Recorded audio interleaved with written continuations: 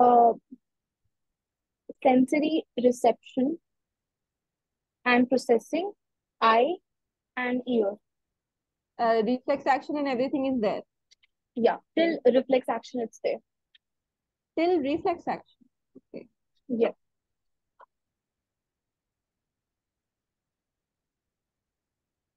All right. Okay. So after reflex action, nothing is there. Like the whole part is deleted. Yes, ma'am. All right.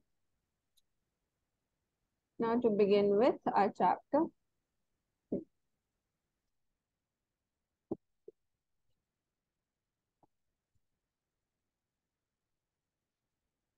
You know, at this time now, since very less time is left, uh, like, did you, uh, like, is your admit card out for NEET? Yes, ma'am. Admit card is out? Yeah. Okay. So, like, currently you're in India? Yes, ma'am. I'm in India, Bangalore. So is the center near your uh, place or is it far away? The thing is, uh, in the admit card, uh, in the application form, basically, uh, there was no center written there. So I have to, I think, log in to the website and check for the center. Your exam is on 5th May, right? Yes. Okay. Today is 21st April. Yeah. Now, you know, at this point, you must revise all the tiny knickknacks and concentrate on NCERT because very less time is left. Are you excited or are you nervous? Or both? More on the nervous side. Only nervous. Yeah, because I'm just like right now concentrating more on 11th and there's no like time for 12th revision. I, I Mm. still need a bit of revision for that. And, uh, and how is 12th biology? 12th biology, uh, I mean, it's way better than that of 11. Yeah, I know most of the things there. Okay, good. Because, you know, the time that we have, uh, we can cover 11th biology very nicely. But 12th, I don't think so. We can cover it as I'm covering the 11th one. We'll have to do it very Mhm. quickly if time is left. Isn't it? Mm, yeah. Mm. But but I am also like tension free regarding of that because I know that you have also said that your preparation is good for 12 So I have Mm. I don't have any tension regarding that. The only thing that bothered me was like 11th syllabus, which is quite long, bigger than uh, 12th syllabus. Yeah. Yeah. Hmm. All right. Now, coordination is the process through which two or more organs interact and complement the functions of one another. For example, when we do physical exercises, the energy demand is increased for maintaining an increased muscular activity. The supply of oxygen is also increased. Now, the increased supply of oxygen necessitates an increase in the rate of respiration, heartbeat, and increased blood flow via blood vessels. When physical exercises stop, the activities of nerves, lungs, heart, and kidney gradually return to their normal conditions. Thus, the functions of muscles, lungs, heart, blood, all are coordinated while performing physical exercises. In our body, the neural system and the endocrine system jointly coordinate and integrate all the activities of the organs so that they perform in a synchronized fashion. So our neural system is very uh, like closely connected to our what the endocrine system that is the whole hormonal system of our body they work side by side and many a times their activities are aligned together. Like because of the hormones certain neural mechanism will be taking place in our body. So it is all coordinated. Now how is the temperature in bangalore? It's very hot? Uh, yeah, kind of, it's very hard. The neural system provides an organized network of point-to-point connections for a quick coordination. The endocrine system provides chemical integration through hormones. In this chapter, you will learn about the neural system of human, mechanism of neural coordination, like the transmission of nerve impulse, impulse conduction across a synapse, and the physiology of reflex action. Now, the neural system. Now, the neural system of all animal is com uh, composed of highly specialized cells called as neurons. Just like how nephrons were the unit of the excretory system, same way neurons are the unit of the nervous system.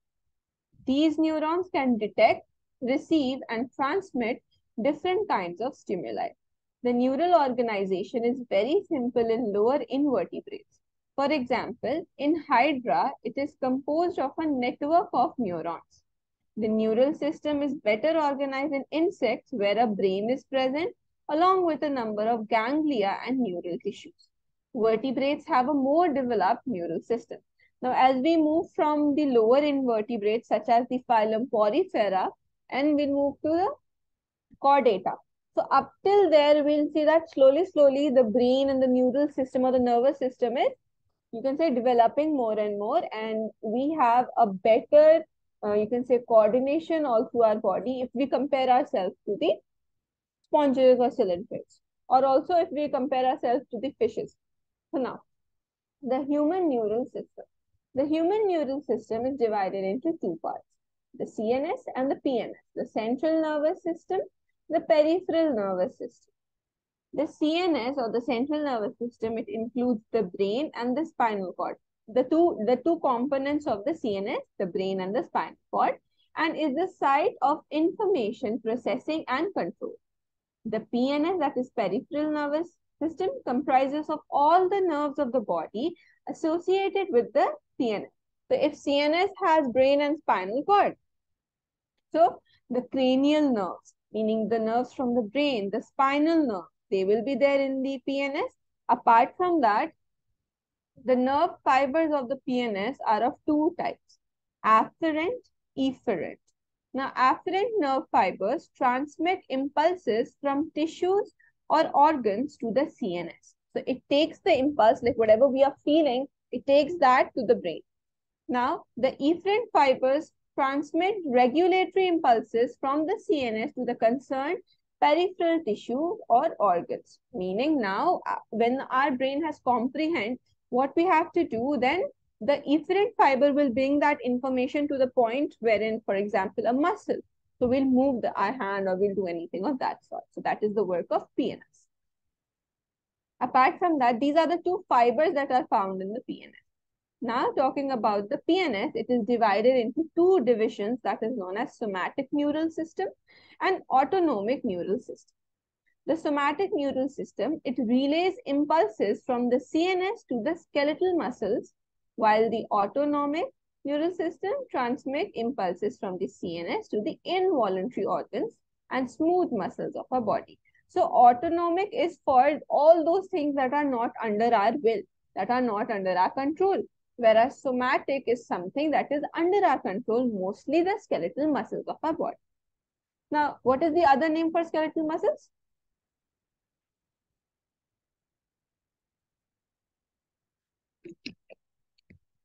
The other name for skeletal muscles?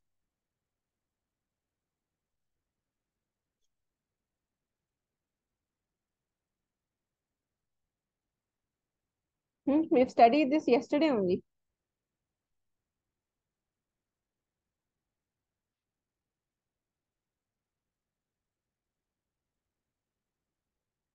Hmm, students?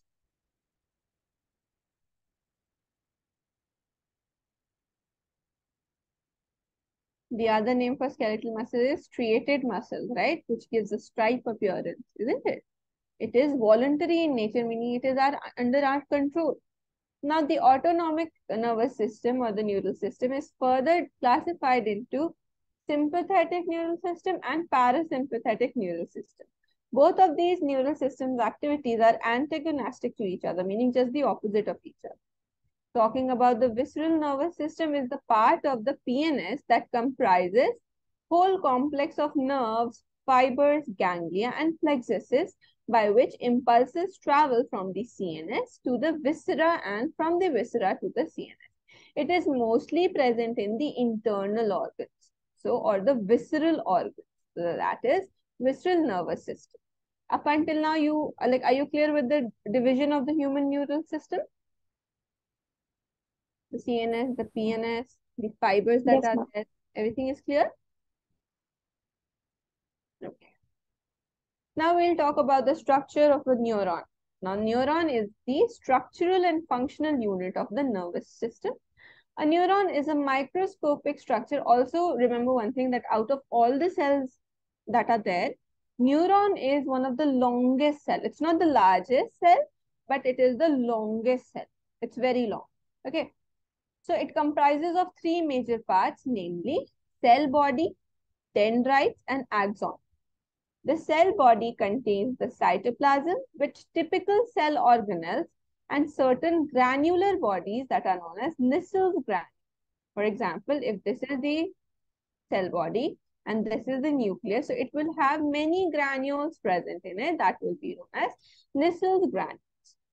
Now, short fibers which branch repeatedly and project out of the cell body also contain Nissls granules and are known as dendrites. These branch-like structures that arise from the cell body, these are the dendrites. Now, these fibers transmit impulses towards the cell body. So, it brings all the impulses towards the cell body. Then comes the axon, this long portion. The axon is a long fiber, the distal end of which is branched, meaning the back end, this part is branched.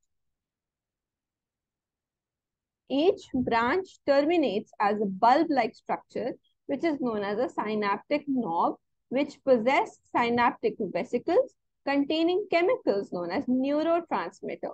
Do you people remember the name of a very famous neurotransmitter of our body?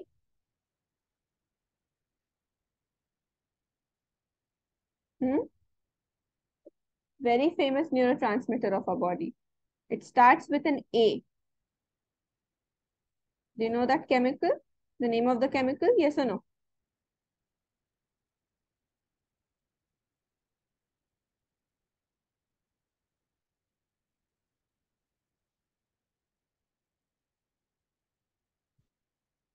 Do you, uh, have you heard about acetylcholine?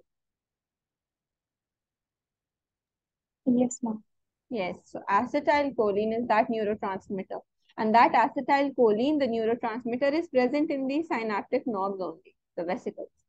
Now, the axons transmit nerve impulses away from the cell body to a synapse. Synapse means a gap, okay, to a synapse, or it transmits it to a neuromuscular junction, the junction of a neuron and a muscle. Based on the number of axon and dendrites, the neurons can be divided into three types. The neurons can be of three types if we take the number of axons and dendrites into consideration.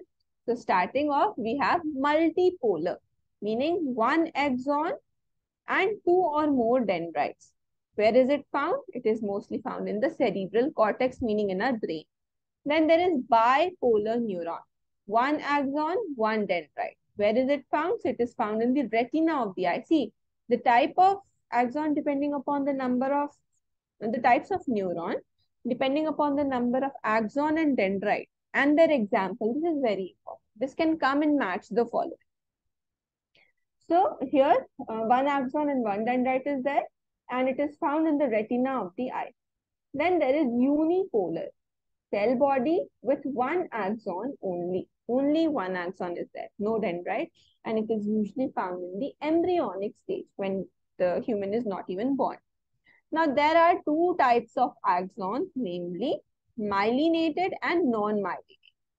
Myelinated, what is myelinated? See, uh, if you see on the axon, these purple cells, these are sort of like the insulating covering, a layer which is present on the axon, and that layer is known as myelin sheath. So whichever axon that has the myelin sheath, we'll call them as myelinated axon and the ones that do not, we'll call them as non-myelinated axon. Now the myelinated nerve fibers are enveloped with Schwann cells which form a myelin sheath around the axon. Now these axons, they are actually surrounded by Schwann cell and the myelin sheath is secreted by the Schwann cell. So on those axons on which the Schwann cell has secreted the myelin sheath, we'll call them as the myelinated axon and the other one will be non-myelin. The gaps between two adjacent myelin sheaths are called nodes of Ranvier. These gaps that you see here, these are the nodes of RAN. Myelinated nerve fibers are found in the spinal and the cranial nerves. Unmyelinated nerve fiber is enclosed by a Schwann cell that does not form a myelin sheath around the axon and it is commonly found in the autonomous and somatic nervous system. So ANS and the somatic nervous system. So in these two, we have the non-myelinated, meaning the axon is not covered by the myelin sheath in these two. And the ones that are found in our, uh, this thing, the spinal and the cranial nerves, they are myelinated. Now we'll talk about the generation and conduction of the nerve impulse. Neurons are excitable cells because their membranes are in a polarized state. Polarized means charged. Okay. Now different types of ions or ion channels are present on the neural membrane. The, these ion channels are selectively permeable to different ions. Ion channels are sort of like gates. Imagine them as gate and they can either permit the ion to come inside or they can allow the ion to go outside. So they are selectively permeable. Now when a neuron is not conducting any impulse, meaning that it is resting, the axon mem axonal membrane is comparatively more permeable to potassium and nearly impermeable to sodium. When the neuron is a, like in a resting state, at that point of time, the axon or the membrane of the axon will not be permeable to sodium, but it will be permeable to potassium ions. Similarly, the membrane is impermeable to negatively charged proteins present in the axoplasm. Just like how cytoplasm is there for cell, sarcoplasm is there for muscle cell, so axoplasm is there for axon. Consequently, the axoplasm inside the axon contains high concentration of potassium ions and negatively charged proteins and low concentration of sodium ion because it's not permitted. Now, in contrast, the fluid outside the axon contains a low concentration of potassium and a high concentration of sodium, just the opposite. And because of this, there is a concentration gradient setup because one thing is more at one end and it is less at another end. So that is a concentration gradient. Now, these ionic gradients across the resting membrane are maintained by the active transport of ions by sodium-potassium pumps. Now, for the conduction of nerve impulse, both the ions are important. Sodium ion is also important and potassium ion is also important. So, because of that very reason, there is a pump setup. Okay, and uh, like a pump is there so that what will it do? It will perform the, like you can say, influx and efflux of the ions. So this sodium potassium pump, which transports three sodium outwards for two potassium into the cell. As a result, the outer surface of the axonal membrane, it possesses a positive charge, while its inner surface becomes negatively charged and therefore is polarized. Now it is charged. The electrical potential difference across the resting plasma membrane is known as resting potential, meaning at the resting state you might be curious to know about the mechanism of generation of nerve impulse and its conduction along an axon. When a stimulus is applied at the site on the polarized membrane, the membrane of the site A becomes freely permeable to sodium. This leads to the rapid influx of sodium followed by the reversal of the polarity at that site, meaning now once the sodium will get inside, the outer surface becomes negatively charged and the inner surface becomes positively charged, just the opposite. The polarity of the membrane at site A, this point, meaning this point is getting polarized, the sodium is getting influx, because of which the polarity is changing from positive to negative.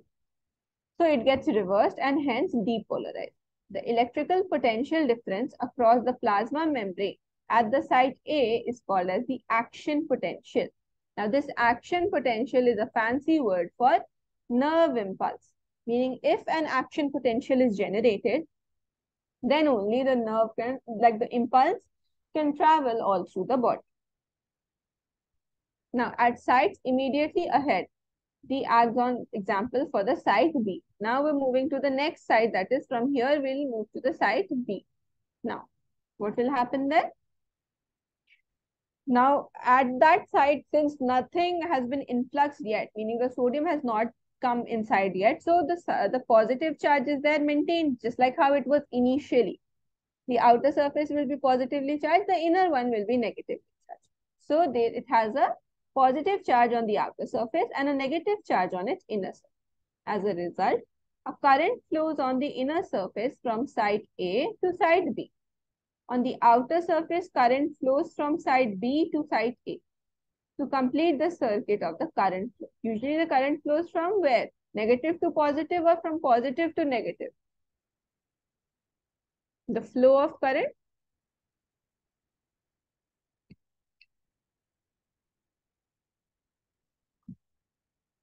Hmm? Positive to negative. Yeah, same thing that will happen here.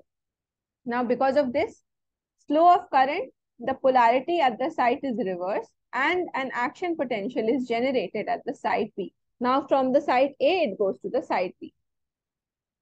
Thus, the impulse or the action potential generated at site A arrives at site B. The sequence is repeated along the length of the axon, meaning the whole entire length, and consequently, the impulse is conducted. The rise in the stimulus induced permeability to sodium it is extremely short-lived. It is quickly followed by a rise in the permeability to potassium. Meaning this doesn't happen for a really long period of time. It happens quickly and then it's over and back to the state.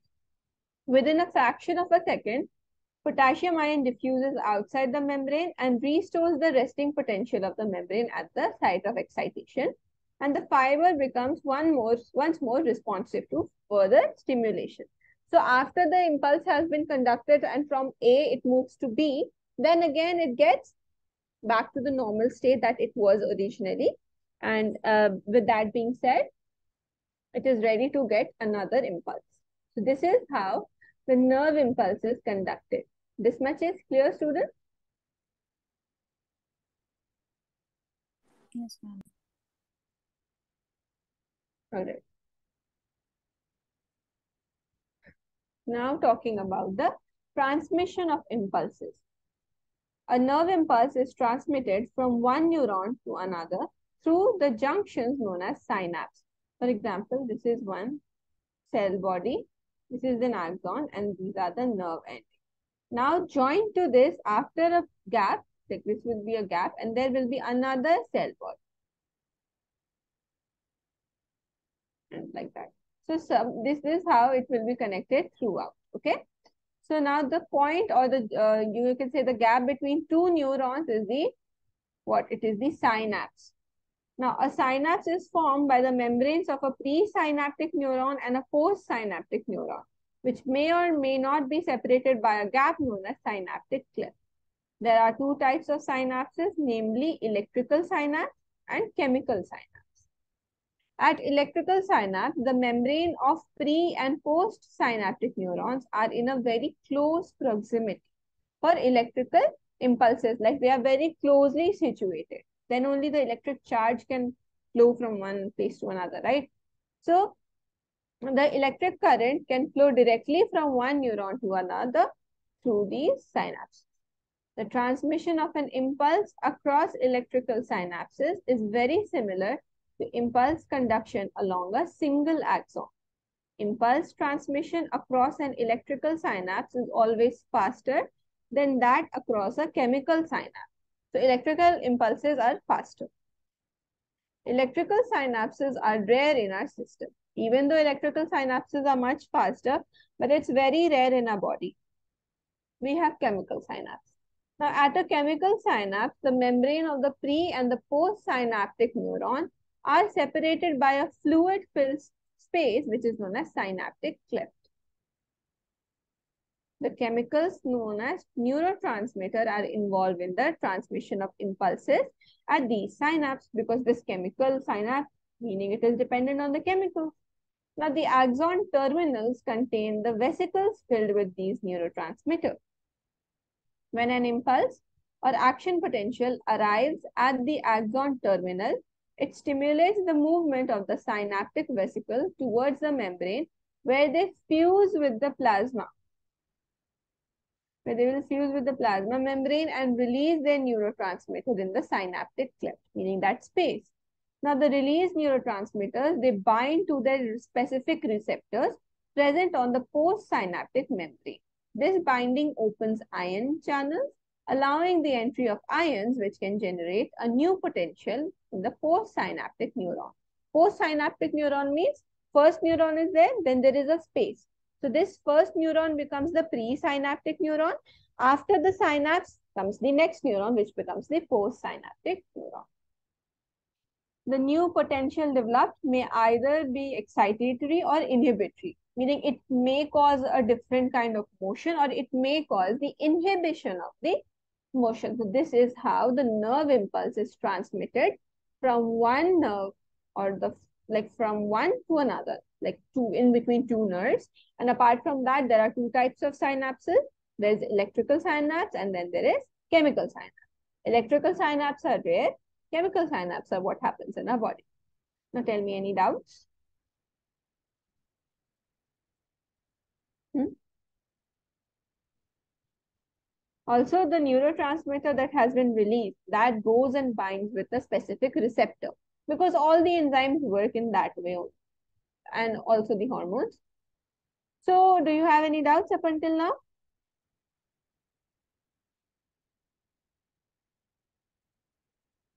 Hmm?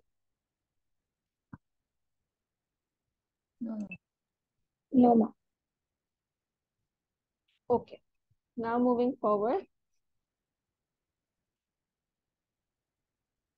We'll talk about the CNS, our central nervous system that is responsible for the all like all the coordination, involuntary, voluntary coordination of our body.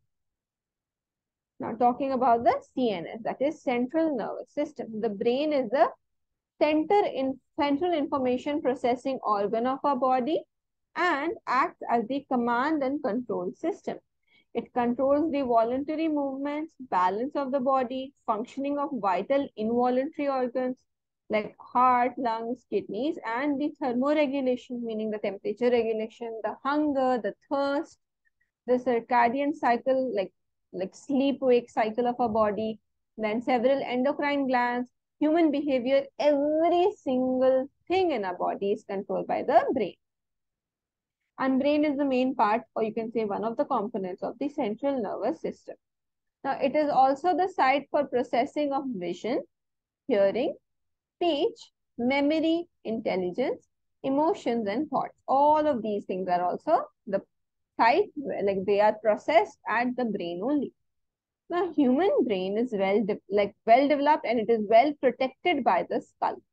Inside the skull, the brain is covered by cranial meninges. Meninges are coverings consisting of an outer layer. The outer meninges will be known as the dura mater. A very thin middle layer will be known as arachnoid. And then the innermost layer, which is in contact with the brain tissue, is known as the pia mater.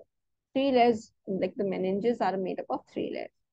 The brain can be divided into three major parts, that is forebrain, midbrain, and hind. Talking about the forebrain. Now, the forebrain consists of cerebrum, thalamus, and hypothalamus. Cerebrum forms the major part of the human brain. This is the most important part of our brain. Like without, if you remove any person's cerebrum, that person is of no use to anyone. So cerebrum is the most important part and what like it, uh, like it is the major part actually of the forebrain. Now, a deep cleft divides the cerebrum longitudinally, meaning in a longitudinal position, into two halves. So this is one half of the brain. This is the another. If you are looking at the brain from like here, okay, then it has been divided into two halves, which are termed as the like the left hemisphere, the right hemisphere.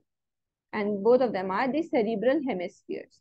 Now, these hemispheres, they are connected by a tract of nerve fibers called as the corpus callosum. This corpus callosum is a very characteristic feature of human brain. It is found in humans and it is well developed in humans. Apart from that, uh, the layer of cells which covers the cerebral hemisphere is known as cerebral cortex and is thrown into prominent fold. Everyone knows the diagram of the brain. If you draw it, it's like always like this, like certain structures are there, right, in the brain. These are the folds of the cerebral. The cerebral folds are there and it is because of the cerebral cortex. The cerebral cortex is referred to as the gray matter due to its grayish appearance. So another name for cerebral cortex is gray matter. The neuron cell bodies are concentrated here giving the color.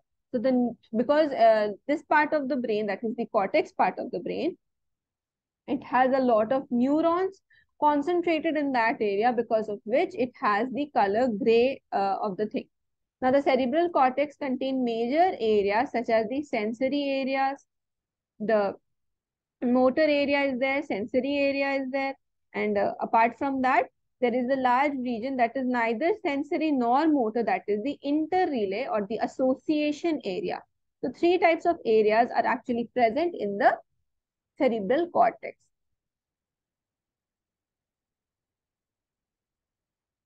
Now moving forward.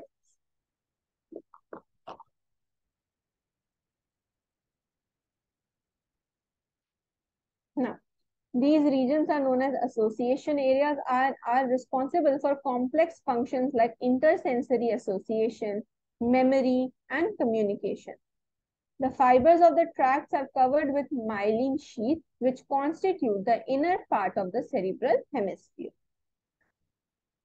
They give an opaque white appearance to the layer and hence is called as the white matter towards the inner part. Like the inner part is whitish, the outer part is grayish. The cerebrum wraps around a structure which is known as thalamus. You look at here in the diagram. Let's see where thalamus is. Hmm. See this this thalamus is actually wrapped around by this whole entire thing, which is the cerebrum. It is the major part of our brain and it is wrapping the thalamus. Which, uh, now, this thalamus is the major coordinating center for sensory and motor signaling. Another very important part of the brain is known as the hypothalamus and it lies at the base of the thalamus. The hypothalamus contains a number of centers which control body temperature, urge for eating and drinking. All of these things are controlled by our hypothalamus.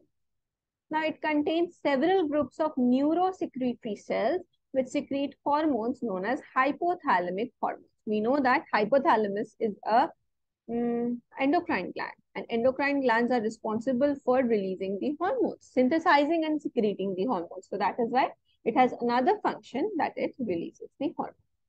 The inner parts of the cerebral hemispheres and a group of associated deep structures like amygdala, hippocampus, etc. form a complex structure called the limbic lobe or the limbic system. Along with the hypothalamus, it is involved in the regulation of sexual behavior, expression of emotional reactions such as excitement, pleasure, rage, and fear, and also motivation. So we have our limbic system. So limbic system with the hypothalamus regulates these feeling, feelings inside us. Sometimes we feel so demotivated. So maybe our limbic system is not working well for that point of time, isn't it? So uh, yeah, and our limbic system contains the structures such as amygdala and hippocampus. So this was about the forebrain. Now, if someone asks you like what is the function of forebrain, so you should tell them that it has the major function of a body, right from the intellectual things, meaning reading, writing, the condition reflexes, then body temperature, feelings, speech formation, then also when we see something and our brain comprehends it and we understand like for example if i look at a bottle i would understand that it is a bottle and not a pen because my brain and because of my cerebrum or the forebrain only. These are the functions. Now moving on to the midbrain. Now midbrain is located between the thalamus or hypothalamus of the forebrain and the pons of the hindbrain a canal called as cerebral aqueduct passes through the midbrain The dorsal portion of the midbrain consists of four round swellings or lobes known as corpora quadrigemina. It, it, it has four lobes present in the midbrain and these are known as the corpora quadrigemina. Lastly, there is the hindbrain. Now, hindbrain comprises of the pons, the cerebellum and the medulla, also known as the medulla oblongata. Pons consist of fiber tracts that interconnect different regions of the brain. Cerebellum, cerebellum has very convoluted surface in order to provide additional space for many more neurons. The medulla of the brain is connected to the spinal cord. Now, the medulla contains centers which control respiration, cardiovascular reflexes, and gastric secretions. Three major regions make up the brain stem the midbrain, the pons, and the medulla oblongata. Very important.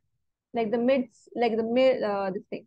Brain stem consists of three things: midbrain, pons, and medulla. Now, brain stem forms the connection between the brain and the spine.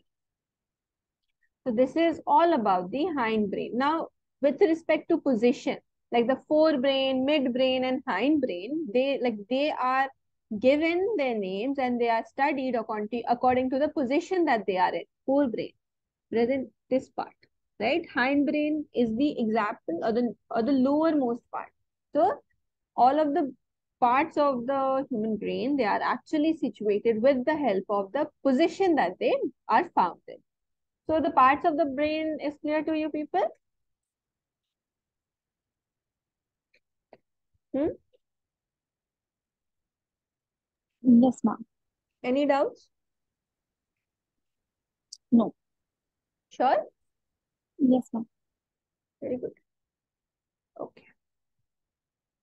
Now moving forward, let us talk about the reflex action and the reflex arc. You must have experienced a sudden withdrawal of a body part which comes in contact with objects that are extremely hot, extremely cold, pointed, or animals that are scary or poisonous the entire process of response to a peripheral nervous stimulation that occurs involuntarily. You don't have to think about it. As soon as you touch a hot cup of tea, you will draw your hand back. No one is going to hold it for a while. So that motion or that movement is involuntary. It is not under our control. Now, it is involuntary that is without conscious effort or thoughts and requires the involvement of the main part of the CNS and it, this type of motion is the reflex action. The reflex pathway comprises at least one afferent neuron, that is the receptor. It will get the reception. It will get the signal. And then there is one efferent or effector or exciter neuron. And these are arranged in a sequence.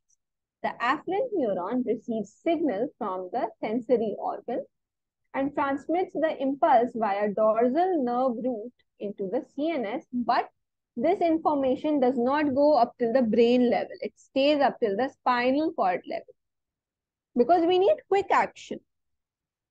So from the uh, spinal cord, the efferent neuron then carries signals to the effector. Effector is the organ. For example, if you're touching a hot uh, cup of tea or whatever, this hand becomes the effector. And the effector also is the muscle that will move the hand back. So the stimulus and response thus forms a reflex arc as shown below. This is the knee jerk reflex.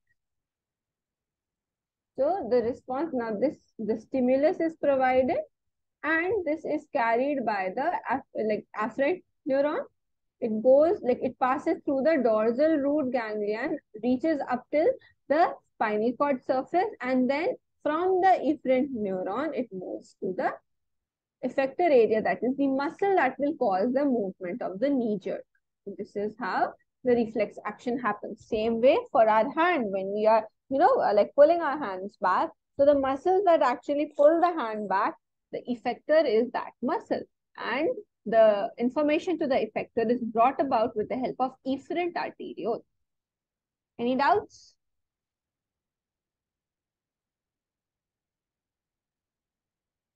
Hmm?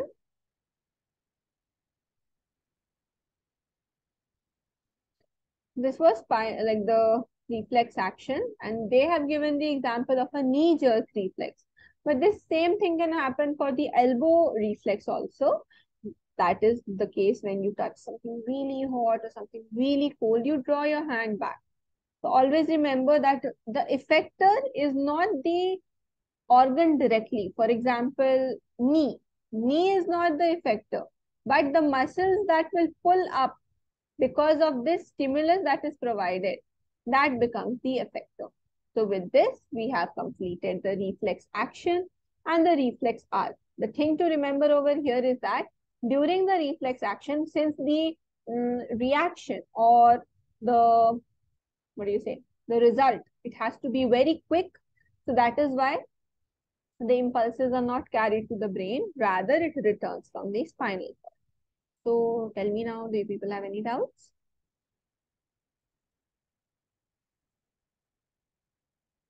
This part is clear? hmm?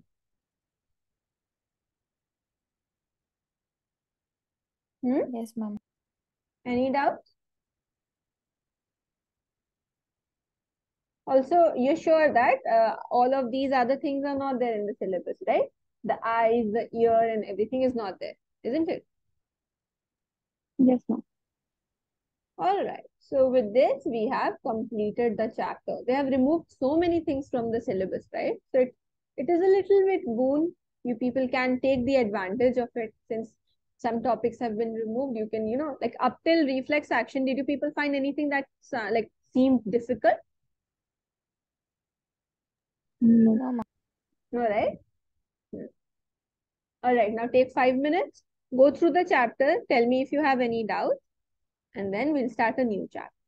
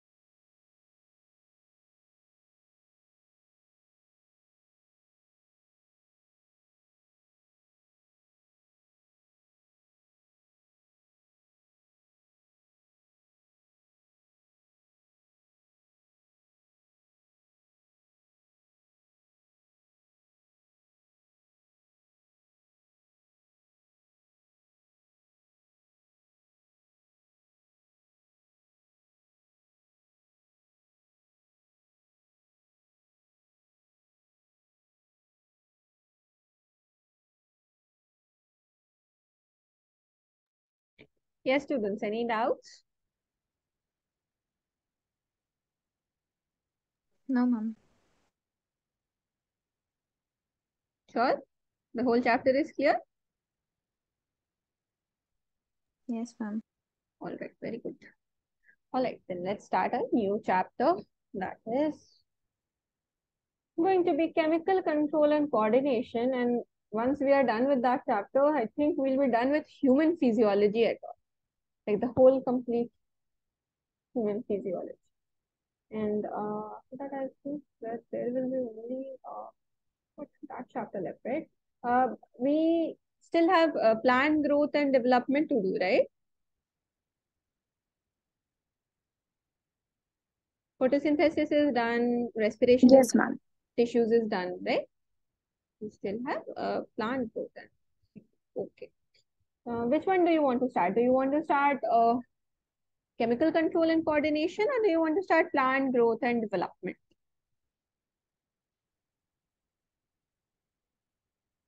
Hmm?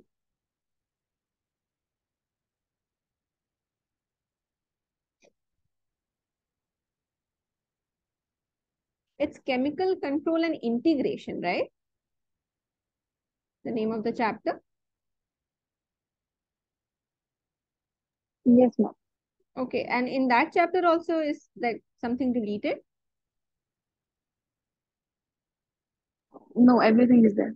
Everything is there. All right. And I think that's a little longer chapter. So let's start with that only. Second, I'm loading it on my screen. You know, it's so hot over here that I'm not able to speak properly. It's like my mouth is getting so dry. Just one second.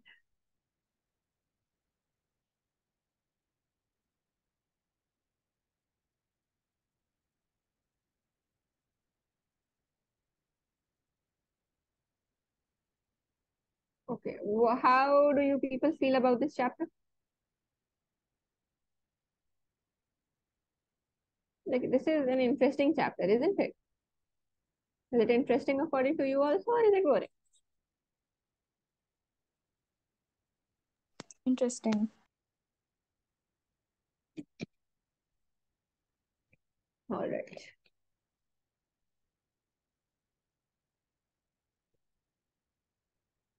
Now we're going to start with the chemical control and coordination.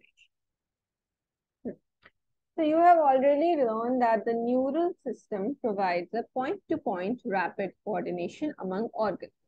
The neural coordination is fast, but it is short-lived. As the nerve fibers do not innervate all the cells of the body and the cellular functions need to be continuously regulated, a special kind of coordination and integration has to be provided. This function is carried out by the hormones. The neural system and the endocrine system jointly coordinate and regulate the physiological functions of the body. Now, as I told you that the neural system as well as the endocrine system is very closely regulated. Now, the endocrine and the exocrine. First, uh, before that, you should know that there is endocrine glands and then there is exocrine gland. Do you people know the difference between them? Any, like, do you remember it from class 11?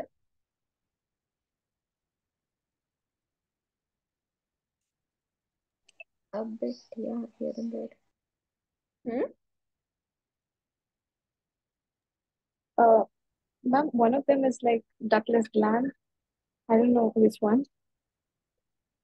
Yes, endocrine glands are ductless gland, meaning they do Yeah. not have, yeah, ducts. Meaning they do not need any vessel or any pipeline, if you want to understand in a layman language, they do not need any pipeline so as to transmit their secretion. Now, the secretions of endocrine glands, they are hormones. Now, these hormones, they do not need anything to be transmitted. So, it is ductless and it is directly released into the bloodstream of our body. But if we talk about the exocrine glands, those are situated with ducts. So those are the duct glands. So endocrine glands lack ducts and hence are called as ductless glands. Their secretions are called as hormones. The classical definition of a hormone as a chemical produced by the endocrine glands and released into the blood and transported to a distantly located target organ has current scientific definition. Now, what is a hormone? Hormone is non-nutrient chemical. Non-nutrient means it's of no importance to us as far as nutrition is as like goes. It does not provide us any energy. So it is non-nutrient chemical and it acts as an intercellular messenger, messenger in between the cells and they are produced in trace amounts. The new definition covers a number of uh, like a number of new molecules in addition to the hormones that are secreted by organized endocrine glands. Invertebrates possess a very simple endocrine system with few hormones, whereas a large number of chemicals acts as hormone and provide coordination in the vertebrates. The human endocrine system is described here. Now, the endocrine glands and hormones producing diffuse tissues or cells located in different parts of our body constitute the endocrine system. The pituitary gland, pineal gland, thyroid, adrenal, pancreas, parathyroid, thymus, and gonads, that is the testes in males and ovaries in females, are the organized endocrine bodies in our body. In addition to these, some other organs such as the GI tract, gastrointestinal tract, the liver, the kidney, and the heart also produces hormones. A brief account of the structure and function of all major endocrine glands and hypothalamus of the human body is given. Now, the hypothalamus. We did discuss that hypothalamus is a part of forebrain. Now, the hypothalamus is the basal part of diencephalon forebrain and it regulates a wide spectrum of body functions. It contains several groups of neurosecretory cells, which are known as nuclei, very important, which produces hormones. These hormones regulate the synthesis and secretion of pituitary hormones. However, the hormones produced by the hypothalamus are of two types.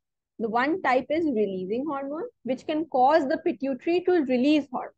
The other will be inhibiting hormone that will cause the pituitary to inhibit the secretion. For example, there is a hypothalamic hormone called as the GnRH, that is gonadotropin releasing hormone. It stimulates the pituitary to synthesis and release of gonadotropins.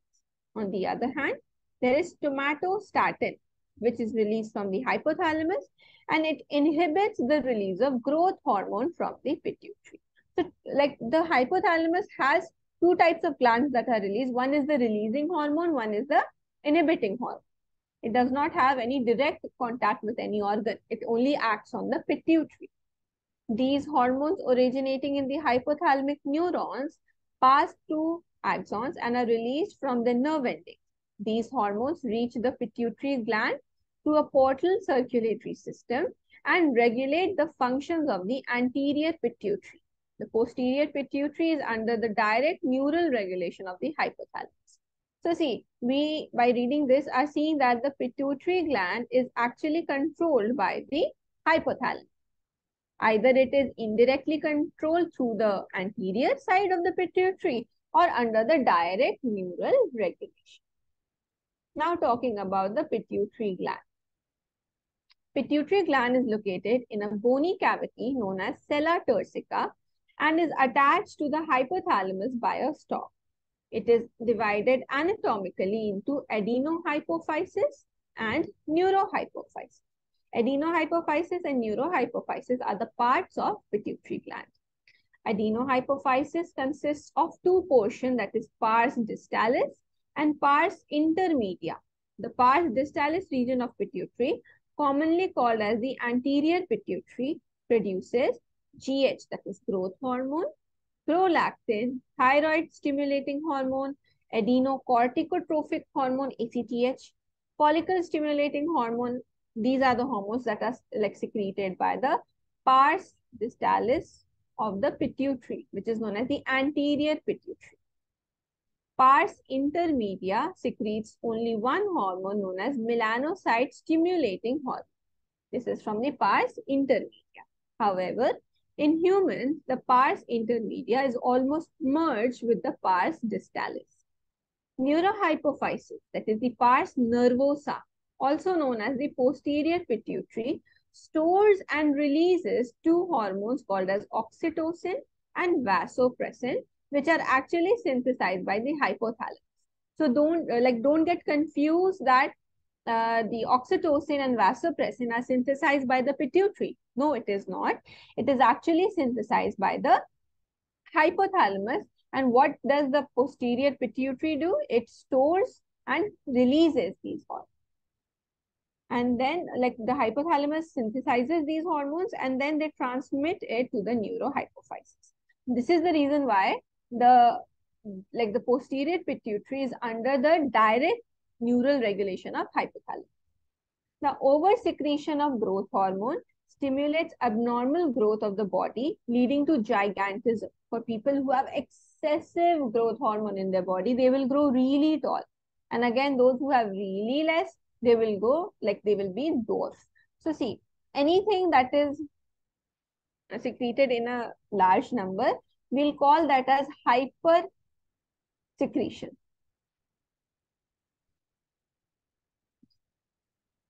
What am I writing? Okay, hypersecretion means say like the stuff or the hormone that is being secreted much more than it is required. And hypersecretion of growth hormone causes gigantism. Then the less hormone is, is being secreted, then we'll call it as hyposecretion. Such as hyposecretion of growth hormone causes dwarfism. Now, excess secretion of this like hypersecretion of growth hormone, if it is done in the early childhood, then the human will become giant. Or if it is hyposecreted, then it will then the human will become a dwarf. But the hypersecretion of growth hormone in adults, especially in the middle age, can result in severe disfigurement. Maybe one part of the body will grow very big, such as the face or the hand. This is known as acromegaly, or which may lead to serious complications and premature death if unchecked. This disease is hard to diagnose in early stages and, and often goes undetected for many years until changes in the external features are noticeable. So this is about the uh, secretion of the pituitary uh, hormone, that is the growth hormone. And this hormone is actually stimulated to be released by the releasing hormone, which that is, that is G growth hormone releasing hormone that is from hypothalamus. Now the next hormone that is prolactin, it regulates the growth of the mammary glands and formation of milk in them. Thyroid stimulating gland stimulates the synthesis and secretion of thyroid hormones from the thyroid gland. ACTH, that is adrenocorticotrophic hormone, it stimulates the synthesis and secretion of steroid hormones, that is glucocorticoid. Steroid means it is derived from cholesterol or fat. Now, where is it released from? So, adrenal cortex. The LH and the FSH, they stimulate gonadal activity, meaning they are responsible in the reproduction aspect, meaning during the gametogenesis, and hence are known as gonadotrophins. In males, the LH stimulates the synthesis and secretion of the hormone that is androgen, that is the male hormone.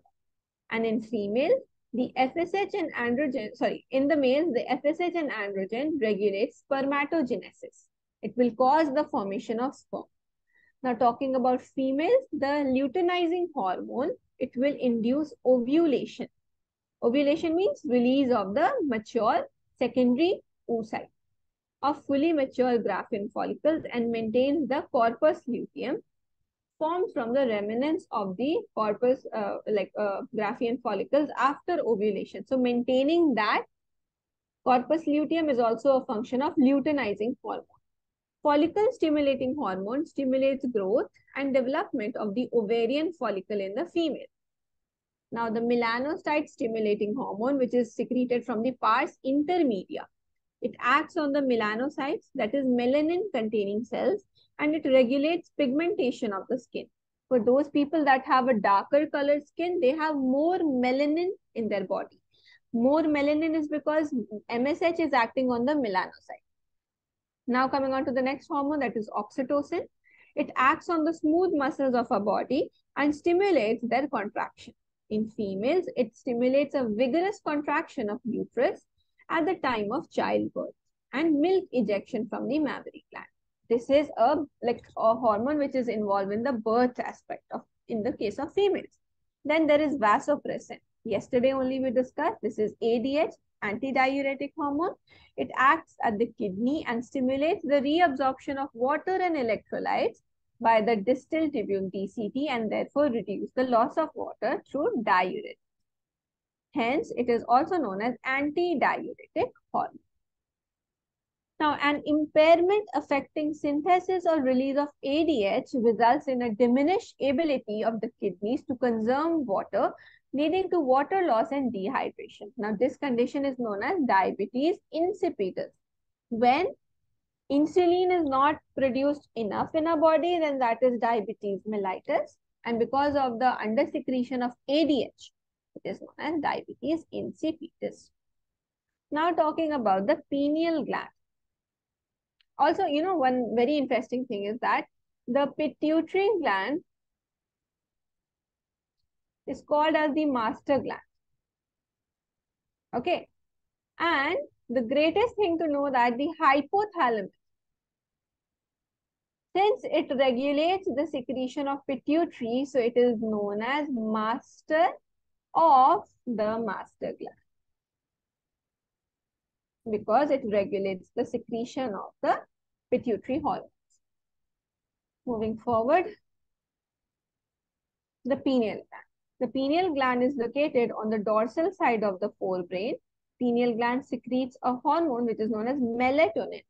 Now, melanin and melatonin or melatonin is like, are, both of them are very different hormones. And you must remember that, don't get confused in between. Melatonin plays a very important role in the regulation of our 24-hour or diurnal rhythm of our body. It helps in maintaining the normal rhythms of sleep-wake cycle. it helps in maintaining the normal sleep-wake cycle, body temperature, these two things, right? And in addition, melatonin also influences metabolism, pigmentation and menstrual cycle as well as our defense capability. See, there will be a time, like for example, if we are not feeling sleepy at all. Now, after a while, when you know, when the time comes, maybe later in the night, maybe earlier in the night for some people, we do feel sleepy. Our body has a biological clock on which we run.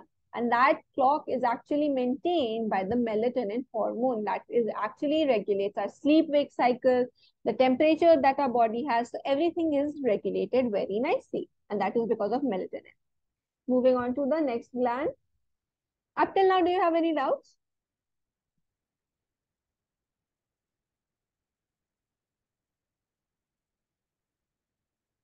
Hmm? No, ma'am.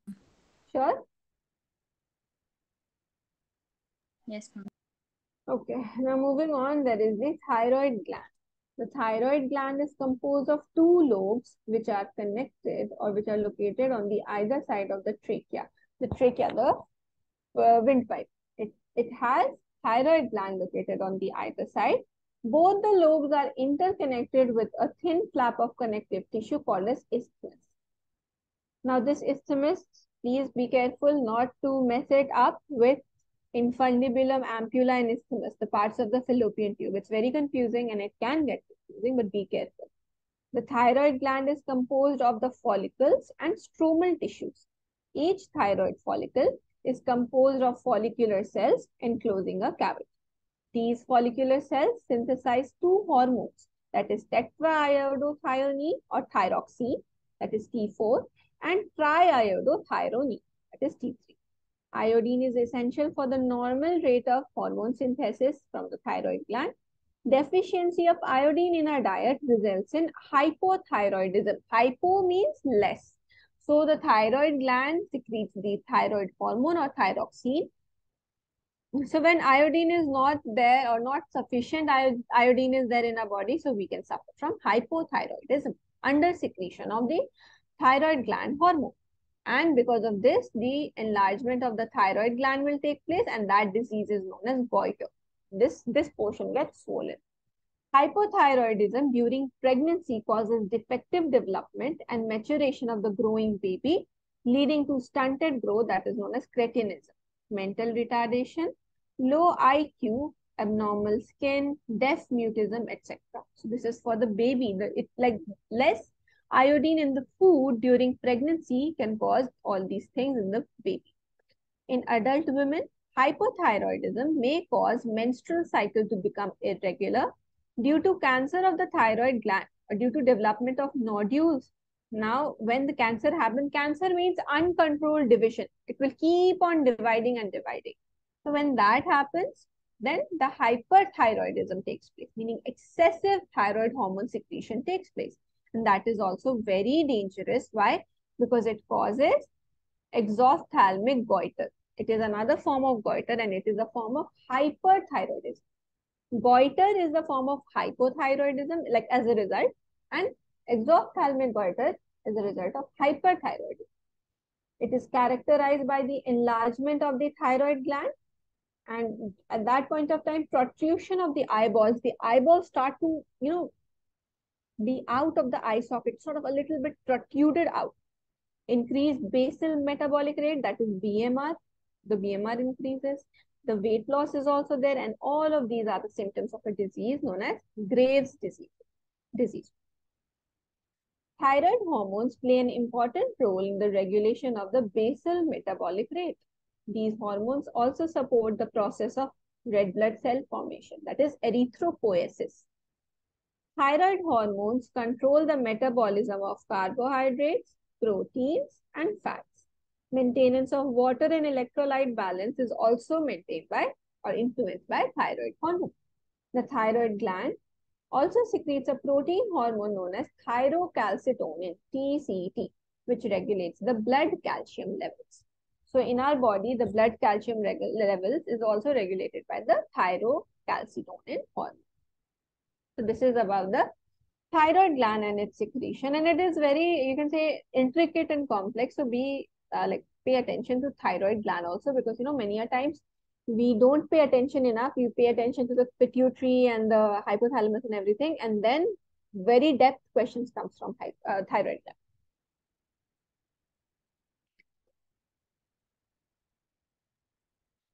Moving forward, we have parathyroid gland.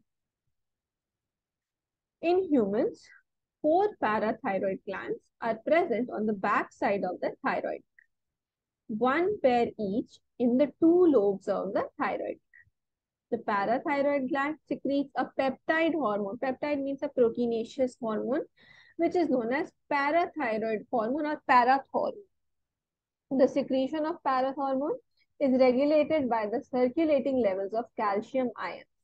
Parathyroid hormone increases the calcium levels in the body or in the blood. The PTH acts on the bones and stimulates the process of bone reabsorption, meaning resorption, meaning the like demineralization, meaning calcium from the bones are released and brought into the blood. That is known as dissolution of the bone. PTH also stimulates reabsorption of calcium by the renal tubules and increases calcium dipositive absorption from the digested food.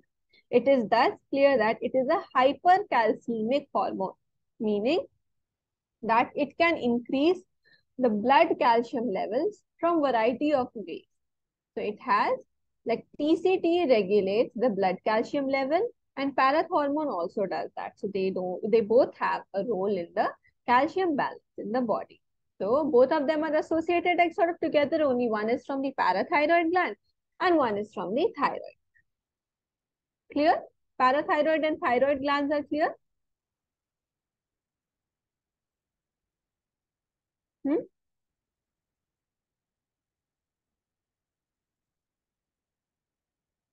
Any doubts? Yes, ma'am. Okay. Now coming on to thymus. Now, thymus gland is a lobular structure located between the lungs behind sternum. Sternum is our bone of the axial skeleton, right? On the ventral side of the aorta. The thymus plays a major role in the development of the immune system. This gland secretes the peptide hormone, which is known as thymosin. Thymosins play a major role in the differentiation of T lymphocytes, which provide cell-mediated immunity. The T lymphocyte is there in our body and that is from the thymus only. In addition, the thymosins also promote production of antibodies to provide humoral immunity. The immunity in the blood is the humoral immunity and that is also provided by the thymosin. Thymus is degenerated in old individuals, resulting in a decreased production of thymosin. As a result, the immune responses of old persons become weak because their thymus, that gland only, starts getting degenerated as the old age arises. Let's just keep it till thymus only, okay? Because I think now you're getting tired, isn't it?